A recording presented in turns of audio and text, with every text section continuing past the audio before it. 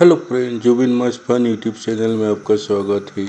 आज आप लोगों के साथ विराट कोहली, बनम, सचिन तेंदुलकर, कौन है बेहतर बल्लेबाज?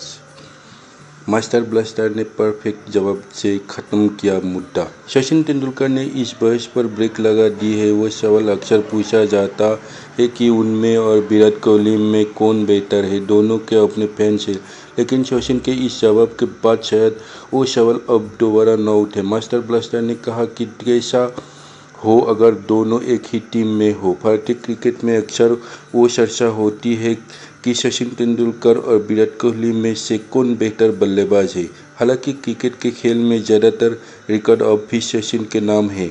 वही कोहली भी लगातार अच्छा खेल रहे हैं और उन्हें सचिन तेंदुलकर के रिकॉर्ड तोड़ने का प्रबल दावेदार माना जाता है।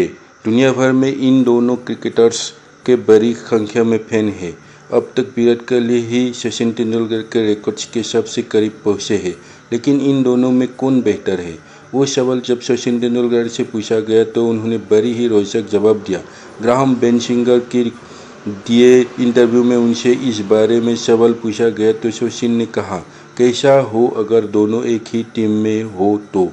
बेनसिंगर ने इस कई सवाल पूछे। उन्होंने सचिन से पूछा कि क्या वो गोल्फ में एक ही शर्त में होल करना पसंद करेगी या क्रिकेट में दोहरा शतक? तेंदुलकर जी गोल्फ के भी बड़े फ़ैन हैं। उन्होंने कहा, क्या अच्छा आइडिया नहीं होगा कि पहले दोहरा शतक लगाया जाए और फिर होल इन वन किया जाए? कुछ साल पहले कोहली से भी उनकी और सचिन तेंदुलकर की तुलना पर सवाल पूछा गया।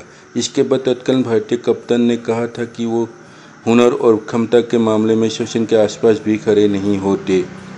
विराट ने गौरव कपूर के इंटरव्यू में कहा, आप सिर्फ़ उनसे तुलना करते हैं जिनसे तुलना की जा सकती है। आप मेरी तुलना उनसे कर रहे हैं जिनकी वजह से मैंने क्रिकेट खेलना शुरू किया।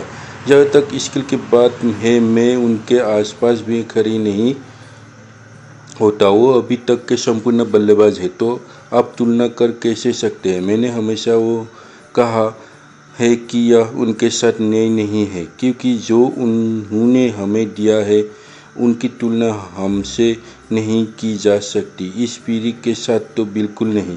अंत मेरे इस वीडियो को देखकर आपको अच्छी लगे तो मेरे चैनल को ज़रूर सब्सक्राइब करके लाइक कर दीजिए, ताकि मैं मोटिवेट होकर और अच्छे अच्छे वीडियो बनाकर आपके पास ले आ सकूँ। थैंक्स।